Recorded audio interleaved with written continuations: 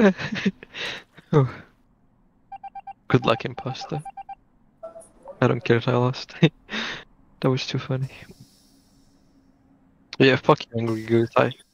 Shut the fuck up. You always kill me first. Shut up. Shut... You don't talk to me. You don't talk to me. Nah, nah, nah, nah, nah, nah. That was the perfect timing to kill you. Fuck you. I hate you. I want to to this person who I like, at least. They, actually, I like both of them.